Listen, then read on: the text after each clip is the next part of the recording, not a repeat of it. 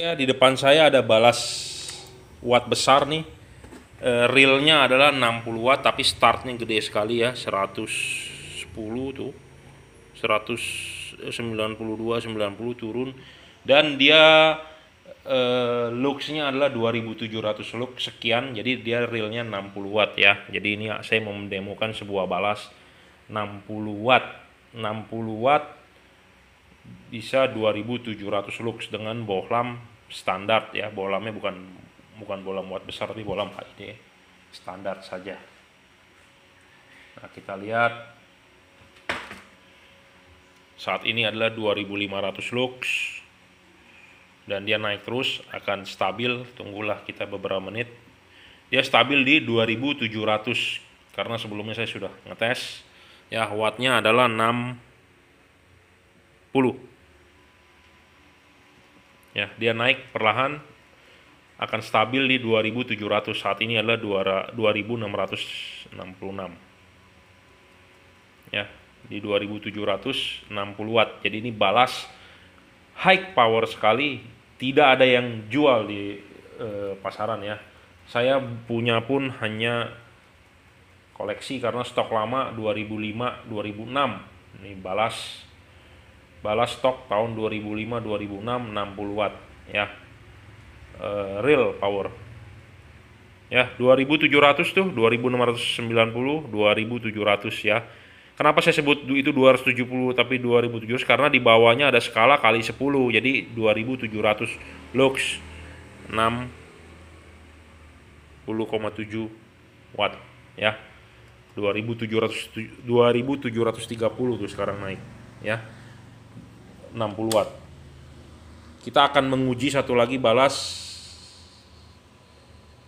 e, boleh dibilang balas kita bikin ya sebentar. Selamat siang. Uh, ini di depan saya ya. Ada satu balas saya boleh bikin. Tahun 2000 2003 2004 jadi kita waktu itu bikin balas menggunakan uh, box ya saya beli di Glodok nih ingat banget boxnya di Oka. Uh, jadi ini balas boleh rakit. Waktu itu saya masih di aktif di modifikasi.com dengan ID Jungki Wenas. Pas pada saat tahun itu adalah HID itu adalah baru baru booming baru murah ya. Memang sudah dipakai di mobil mewah Mercy BMW tahun 90-an tapi booming di Indonesia itu tahun 2002 2003 2004 itu booming HID Cina mulai masuk ya nah waktu itu pun saya juga tertarik untuk uh, punya karena waktu itu masih zaman halogen yang H4 yang pakai coating coating biru itu tuh xenon xenon yang harganya 100 ribu uh, tapi tidak putihnya tidak bisa menyerupai HID bening ya. Waktu itu saya tertarik karena HID waktu itu masih 5-6 juta. Yang jual-jual itu masih toko-toko yang jual pelek atau jual aksesoris modif yang branded-branded ya. Waktu itu saya juga masih langganan majalah Motor Plus kalau nggak salah. HID itu masih 5-6 juta.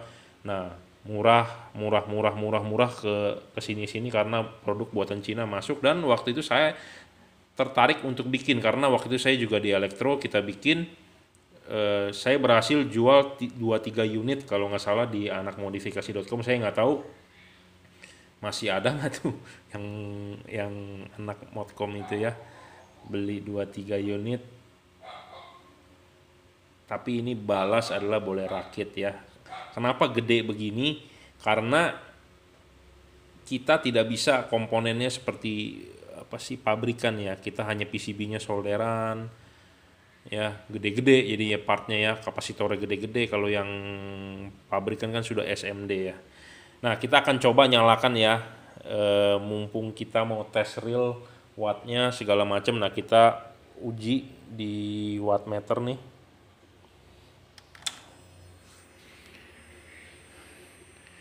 seratus tiga puluh 100 berapa tuh? 140.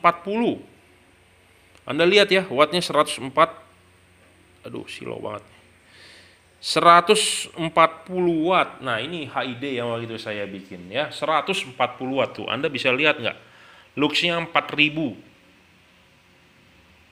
4300 ya. Jadi jangan menganggap remeh HID ya. saya waktu itu bikin seperti ini karena memang eh, mau terang saya nggak bisa lama-lama nyalain karena ini bohlamnya hanya bohlam 35 ya. Waktu itu adalah saya pakai bohlam metal halide ya seperti metal halide yang buat di rumahan. Ya tapi bohlamnya bukan bentuk seperti ini karena waktu itu kita nggak punya bohlam ini ya. Ini saya pernah bahas di Modcom juga waktu itu bikin pakai IC apa IRF segala macam IC powernya. Saya nggak tahu threadnya sudah dihapus atau tidak, saya nggak ngerti karena saya sudah lama tidak login di modifikasi.com dan sekarang saya juga tidak pernah melihat website modifikasi.com ya seperti apa. Kalau dulu kan nggak boleh jualan barang baru, bolehnya 99% tapi nggak tahu sekarang bagaimana keadaannya. Karena keadaannya dulu dari modifikasi.com kita loncat ke Kaskus. Dari Kaskus ya ke Facebook baru ke sekarang buka lapak gitu begitu ya. Jadi ini balas terus terang saya bikin dulu tahun 2003 2004 kebetulan saya kuliah di elektro kita e, bisa rakit karena saya tahu bagaimana cara kerjanya HID e, eh, bagaimana cara mem, membuat wattnya lebih besar dibandingkan yang biasa-biasa. Jadi makanya terangnya HID itu berdasarkan watt ya. Makanya saya mau bahas ini karena ada orang telepon saya dia bilang merek ini mau lebih terang, merek itu nggak terang ah saya nggak mau beli ya. Kita nggak bisa ngomong begitu. Kita berdasarkan watt gitu ya. Berdasarkan watt. Jadi kita ini bohlam yang kita uji adalah sama, tapi watt bohlamnya apa watt balasnya berbeda ya hasilnya berbeda. Jadi uh, wattnya wattnya apa balas ini jadi bohlam ini adalah sebuah tabung hampa ya gas discharge jadi ada katoda anoda bagaimana anda mau menaikkan supaya dia lebih terang? Ya tentu waktu stabil tegangan katoda anoda itu anda harus tinggikan. Standar balas biasa itu 60 sampai 80 volt. Kita mau wattnya gede kita bikin 100 volt. Nah itu wattnya naik ya. Wattnya naik tapi kalau anda bohlamnya jarak katoda anodanya sama, bolamnya cepat cepat putus, habis bolamnya, gasnya cepat habis, gitu ya. Makanya eh, saya juga tadi nggak berani nyalakan lama-lama, karena saya sudah nyoba di mobil sendiri gitu ya, pakai HID 100 sekian watt, itu terangnya terangnya bukan main, makanya kadang-kadang orang suka meremehkan kita oh HID teknologi lama ya saya punya barang bagus kok saya bisa bikin. Sebenarnya saya mau bikin saat ini pun bisa cuman harganya adalah mahal. Waktu itu aja dulu kita jual 6 juta ya. Sekarang kalau kita produksi 6 juta laku nggak? Dan bohlamnya saya nggak punya itu ya. Bolamnya adanya metal halide bukan bolam metal halide jadi apa bolam HID juga tapi eh, nggak e, nggak bisa yang seperti ini gitu ya. Tabungnya terlalu kecil.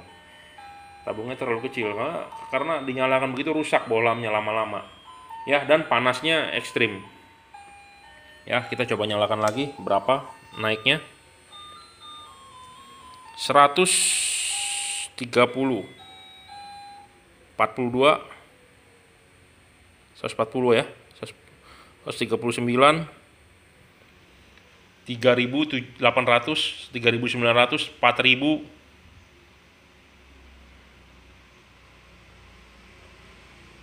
4000 saat ini.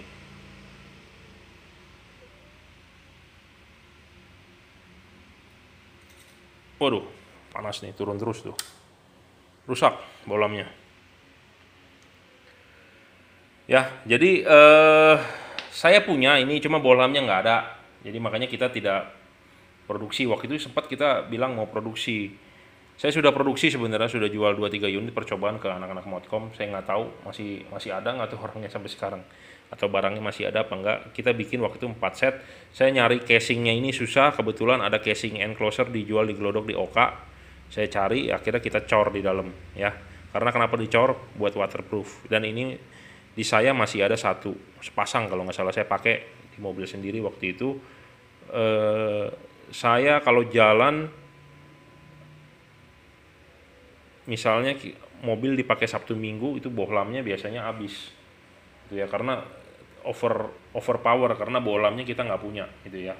Waktu itu saya pernah nyari-nyari bohlam dari Metal Holiday bisa cuma startnya lama.